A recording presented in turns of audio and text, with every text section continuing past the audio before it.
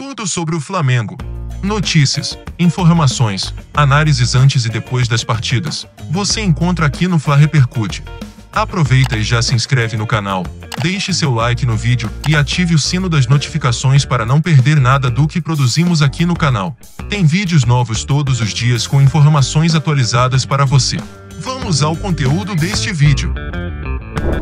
Aí, o Pedro na tela pra gente, personagem do Flamengo neste fim de semana, foi titular contra o Furacão. E os números dele nesta temporada são 17 jogos, 7 como titular, 3 completos, 3 gols, 2 assistências, minuto para participação em gol, 144,8. Vive um jejum de 60 dias sem marcar. Vamos falar com a Roberta Barroso, que traz mais informações para a gente do Flamengo. No fim de semana foi derrotado para o Atlético Paranaense, jogo pelo Campeonato Brasileiro. Mas na quinta-feira também tem Libertadores. Tem uns dias a mais aí para trabalhar o Paulo Souza. Bem-vinda mais uma vez, Beta. Oi, Glaucia. Obrigada. Boa tarde de novo para vocês e para quem está chegando também agora aqui no Sport Center. É isso. O Flamengo se reapresentou na tarde desta segunda-feira, já de olho nesse jogo pela Libertadores contra a Universidade Católica na quinta-feira, mas ainda também pensando no que aconteceu no fim de semana. O Flamengo perdeu para o Atlético Paranaense por 1 a 0. A gente que vinha falando da evolução desse Flamengo, acabou que o time teve um desempenho ruim nessa partida. O Paulo Souza poupou alguns jogadores titulares, o Felipe Luiz Davi Luiz, Gabigol e Everton Ribeiro começaram no banco de reservas, até por desgaste físico. O técnico Paulo Souza confirmou isso depois, na entrevista coletiva, disse sobre esse desgaste físico, tanto do Gabigol quanto do Everton Ribeiro, e também pelos jogos, né, em sequência que vem acontecendo, e por isso poupou alguns atletas para esse jogo. Acabou também que a dupla de volantes, os dois que vinham se destacando, o Thiago Maia, que vinha se recuperando nesse Flamengo, o próprio João Gomes, que a gente vem sempre elogiando, que já é um dos pilares desse time de Paulo Souza, os dois tiveram aquém do esperado nessa partida, aí o meio-campo ficou um pouquinho bagunçado. A gente pode dizer também que o coletivo estava pouco inspirado nesse jogo. Apesar disso, na entrevista coletiva, o técnico Paulo Souza falou que o Flamengo merecia um empate. O Paulo Souza chega agora aqui no Sport Center. Nós entramos bastante bem no jogo. Os primeiros 10 minutos uh, penso que foram bem conseguidos. Uh, e dentro da sua pergunta, não só uh, criámos pouco, como também o nosso adversário criou pouco. Ou seja, acho que foi um jogo bem equilibrado. Acho que o resultado correto deveria ser bem um, um, um empate, pelas, pela, um, pelo o, o pouco volume de criação das duas equipas.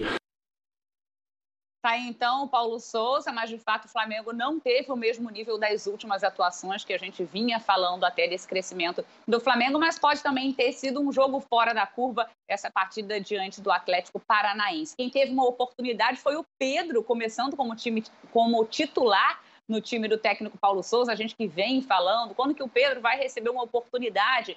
E ele teve essa oportunidade, tentou, foi esforçado, mas, como eu disse agora há pouco, o meio campo do Flamengo estava um pouquinho mais bagunçado, o Pedro ficou um pouco isolado lá na frente, não conseguiu balançar as redes, já são 12 partidas sem balançar as redes. A última vez que marcou foi diante do Botafogo, ainda pelo campeonato estadual. O Pedro que voltou a ser titular desse Flamengo depois de sete jogos. Agora o Flamengo olha para frente. Quinta-feira tem Libertadores. O Rubro Negro enfrenta a Universidade Católica do Chile. Está treinando agora à tarde, então já com a cabeça nesse jogo. Flamengo que viaja na quarta-feira, Gláucia. Boa, Roberta. Siga conosco que nós já vamos falar de outros dois atacantes mas uma outra história que está um bate-boca nas redes sociais. Antes, vamos falar aqui do Pedro. Maria, havia uma expectativa muito grande para esse Pedro titular no jogo do fim de semana, né? Pelas poucas chances até que ele tem recebido de ser titular, embora o Paulo Souza tenha dito recentemente que ele tem treinado muito bem, eles andaram conversando, enfim. E é claro que se espera muito que o Pedro vá, entre, faça gol e tal. Mas o que dá a impressão nesse time do Flamengo, muitas vezes, é que aquele último terço ali, a bola não está chegando. E talvez isso comprometa também demais o Pedro. Embora ele se movimente, tente buscar outro jogo, isso também prejudica demais a vida do, do Pedro lá na frente. Nesse jogo agora, especificamente, prejudicou demais.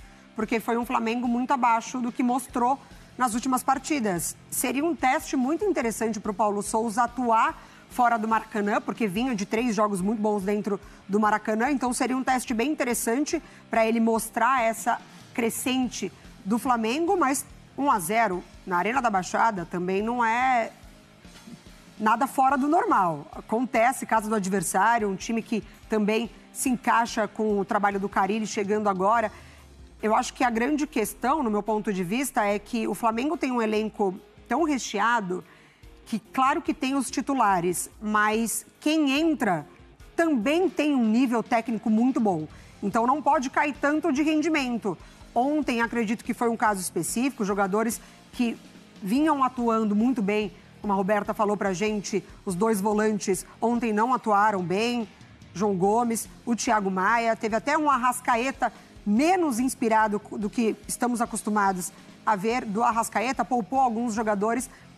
Mas tem que entender se essa conversa do Paulo Souza com o Pedro foi no sentido de que alguém tem que ceder um pouco de cada lado, o Pedro não jogar tão fixo, porque não é o esquema de jogo que o Paulo Souza quer, mas também o Paulo Souza não querer de um Pedro, talvez uma mobilidade de um, de um Gabigol. Uhum. Então tem que entender as características do jogador e o jogador entender o que o treinador quer. Se o Pedro quer continuar no Flamengo, ele quer ter sequências de jogos, ele tem que se adaptar um pouco ao que o Paulo Souza pede para ele. A gente só vai conseguir avaliar isso mais para frente, porque ontem, na partida contra o Atlético Paranaense, realmente não deu para o Pedro porque o time não contribuiu. Roberta Barroso, agora a história é a seguinte: entre Gabigol e Hulk. Tudo começou porque o Gabigol respondeu um tweet de um torcedor falando de um lance do Hulk no jogo contra o Coritiba, uma falta. E aí agora eles estão se estreando pela internet, é isso, Beta? Pelas redes sociais, é? É verdade, Glaucia. Tem treta nas redes sociais. O Gabigol, né, e fez uma ironia em relação ao lance que tem viralizado também o jogo entre Atlético Mineiro e Coritiba. O Hulk cometeu uma falta no jogador do Coritiba e naquele lance levou apenas cartão amarelo. E aí esse lance vem sendo repetido diversas vezes nas redes sociais. E aí um comentário de um torcedor, né, de um integrante ali na rede social, disse que se fosse com o Gabigol, ele seria multado nessa partida. E aí o Gabigol respondeu. E tá aí então a resposta do Gabigol. Se fosse comigo, seria cartão vermelho, 25 jogos de suspensão, iria para a delegacia por agressão. Aí ele ria. Ah, e também matérias em todos os portais esportivos e um programa só para falar sobre isso. E aí ganharam Ibope. Tá aí então a resposta do Gabigol. Só que aí o Hulk não gostou, né? Ele viu esse comentário do Gabigol e aí o Hulk respondeu também, dizendo que o Gabigol acabou pegando embalo em quem tem mais moral em nível mundial. E aí teve resposta de novo do Gabigol, dizendo: interpretação não está tendo. Então, polêmica nas redes sociais, ironias entre Hulk e Gabigol. Gláucia. Valeu, Roberta. A treta nas redes sociais. Gostei como a meta definiu. Um beijo, obrigada, bom trabalho por aí. Tá vendo, Mari? Isso mostra como os dois times também estão ali é, sempre rivalizando por títulos, né? Pela, pela história e retrospecto recente dos dois, né? Com certeza. Se você pega o recorte do comentário do Gabigol, em nenhum momento ele cita o Hulk. Uhum. Ele cita um lance que o Hulk está presente que se fosse o Gabigol, exatamente, que se fosse o Gabigol neste lance, uhum. o peso seria maior da punição. Mas aí é claro que quem recebe. É, é que na, informação... na, postagem do torcedor vinha o lance. Exatamente. Aí o Gabigol exatamente. repostou e colocou isso aí que a Beta trouxe pra gente. Aí vai lá o Hulk e também responde. Mas falando do lance, expulsão. Isso não tem o que debater. Não tem o que debater.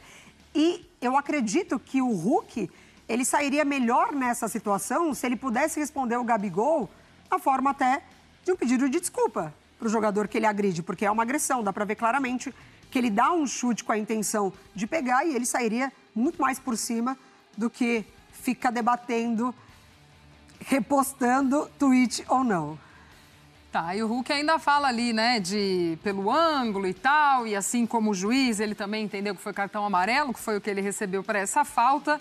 E a gente tem aí então a discussão entre Hulk e Gabigol, Gabigol e Hulk. Vamos ver se até o fim da tarde teremos a, a réplica, a tréplica e aí vai indo.